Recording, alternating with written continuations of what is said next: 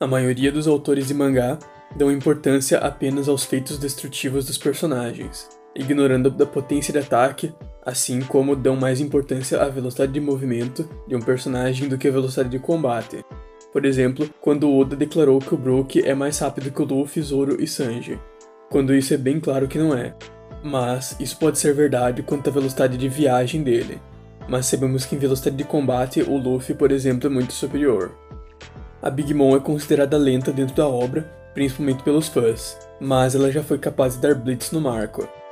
Eu já fiz outro vídeo tratando sobre essa questão de velocidade dos personagens, mas nesse vídeo vou falar sobre a importância que os autores dão para a capacidade destrutiva e qual a diferença entre ela e a potência de ataque, e como todo esse conceito é aplicado dentro de One Piece. Primeiro, eu vou dar uma breve explicação sobre a velocidade.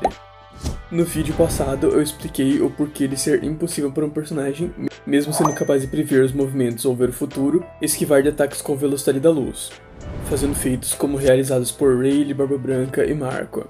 Porém, mesmo se considerássemos a narrativa de que é sim possível esquivar da luz vendo o futuro, ignorando totalmente a física, os personagens ainda seriam acima da velocidade da luz por um simples motivo.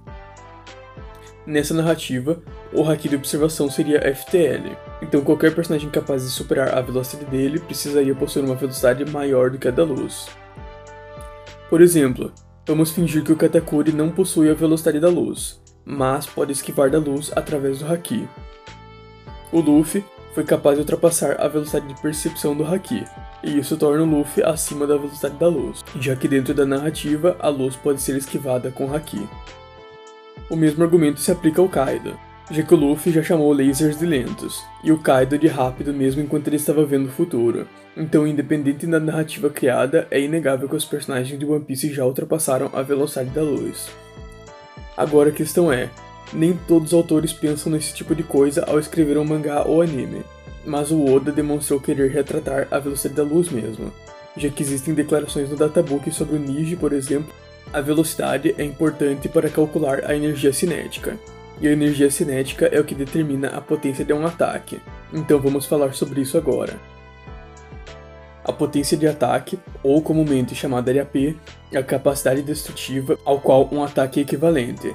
Por exemplo, a Bug Dama destruiu diversas casas, então ela possui a capacidade destrutiva e também a potência de ataque no nível quarteirão. O Bug aguentou diretamente uma Bug Dama, provando que ele possui uma durabilidade no nível quarteirão. E o Luffy conseguiu ferir o Bug com socos normais, então o soco do Luffy possui a potência de ataque no nível quarteirão, mas não a capacidade destrutiva. Um soco do Luffy lá no início do anime era nível parede, capacidade destrutiva, já que nem casas ele era capaz de destruir direito, ou ao menos não demonstrou isso antes do arco do Arlong. Apesar disso, é algo que poucas pessoas se atentam o fato de que o soco dele é equivalente a um feito de destruição de um quarteirão, mesmo sendo incapaz de destruir um. Isso é a potência de ataque, e assim como eu expliquei no vídeo passado, One Piece não foca na velocidade de viagem, e sim em velocidade de combate, e ele também não foca em capacidade destrutiva, e sim em potência de ataque, e o problema é que isso acaba passando despercebido aos fãs pois querendo ou não, um personagem que vai da Terra até a Lua em segundos é muito mais notável do que, por exemplo, esquivar de fótons a queima-roupa. Mas, na verdade, o feito de ir à Lua não é melhor, pois isso se trata apenas de velocidade de viagem. Mas dependendo da distância em que o personagem foi capaz de esquivar de fótons, a velocidade de combate dele é superior. Quando um personagem causa uma grande destruição, destruindo planetas, é algo mais notório do que simplesmente ferir um personagem destruidor de planetas, mas não é como se fosse melhor já que a capacidade destrutiva de um personagem tem relevância quase nula em uma batalha. O que realmente interessa é a potência de ataque, e é nisso que os personagens de One Piece se destacam, juntamente da velocidade. A potência de ataque não tem relação com a área de efeito. Por exemplo, um soco casual do Luffy atual é muito mais potente do que um Raigo Anel lá de Scarpia, mas um soco do Luffy normal sem imbuir Haki do Rei ou utilizar sua fruta para aumentar a potência deve possuir apenas uma capacidade destrutiva no nível de construção, enquanto o Raigo do chegava a país pequeno. Apesar disso, a força de um soco do Luffy atual é logicamente muito mais poderoso do que um Raigo em potência de ataque. A potência de ataque é muito mais importante do que a capacidade destrutiva, pois a potência de ataque geralmente se refere à força e eficácia de um personagem ou arma ao causar danos aos oponentes, enquanto capacidade destrutiva se refere apenas à habilidade de causar destruição em larga escala. Por exemplo, o Barba Branca é um personagem que possui a maior capacidade destrutiva em One Piece, já demonstrado juntamente do Tote Música. Ele possui a capacidade de destruir o mundo com a Gura Gura no Mi. E eu tenho vários outros vídeos explicando melhor essa capacidade de destruir o mundo, além de provar o porquê ele pode destruir o planeta por completo. Então caso tenha interesse no assunto, dê uma olhada lá depois. O Roger era capaz de rivalizar com a Gura Gura no Mi graças ao seu Haki, e isso escala ele diretamente ao mesmo tier do Barba Branca. Por exemplo, se Barba Branca possui a capacidade de destruir o mundo de One Piece, o Roger também é planetário, porém não em capacidade destrutiva e sim em potência de ataque. O Roger claramente era capaz de resistir aos ataques da Gura, e na novel do Ace deixa entender que o Kaido poderia vencer o Barba Branca no 1 contra 1.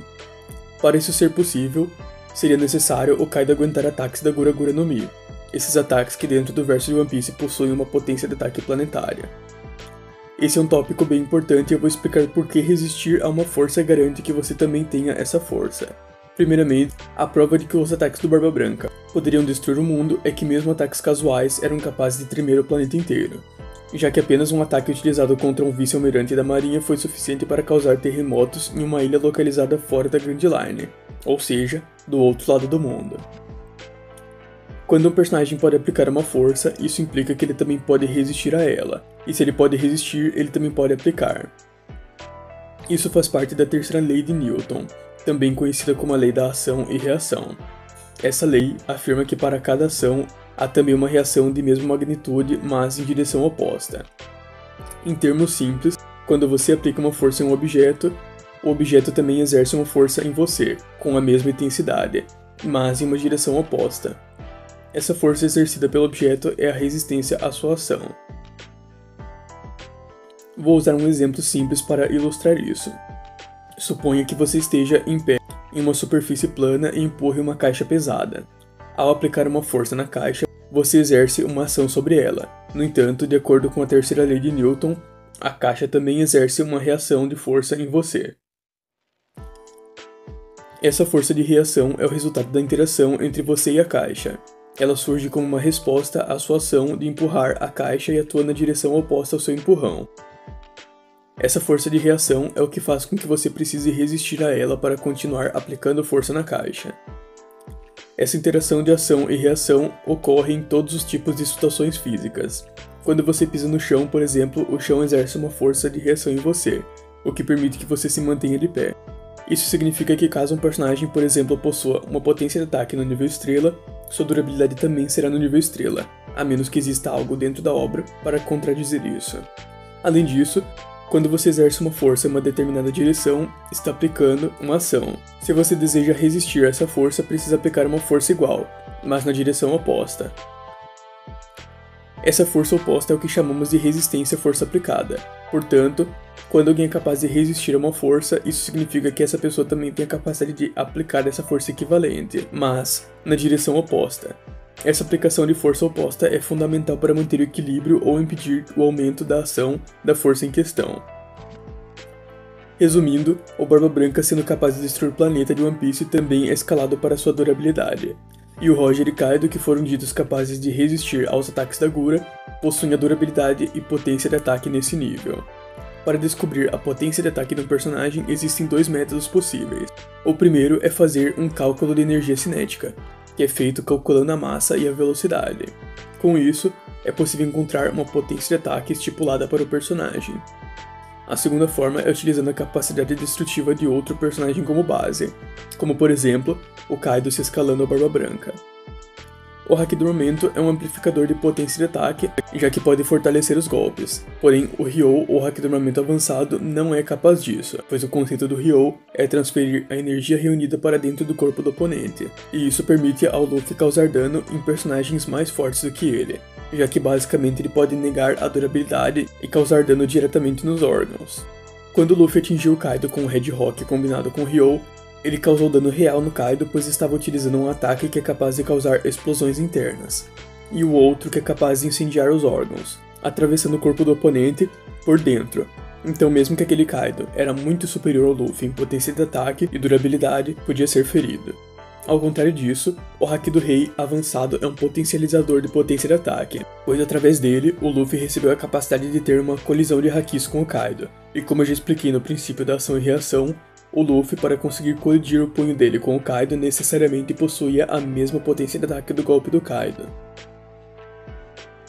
A diferença do Luffy com Ryo para o Kaido era gritante a ponto de ser impossível para o Luffy causar dano ao Kaido, mesmo com ele batendo diretamente aos órgãos. Não estava causando dano suficiente. Porém, com o Haki do Rei, ele podia se igualar, pois a exclusividade do Haki do Rei é aumentar a potência de ataque de um personagem. Os Hakis foram introduzidos dentro de One Piece como a maior forma de amplificar a potência de ataque sem precisar causar o mesmo nível de destruição, e por isso, em One Piece, a capacidade destrutiva alta são usuários de Akuma no Mis, enquanto usuários de Haki podem bater de frente apenas com ataques focados.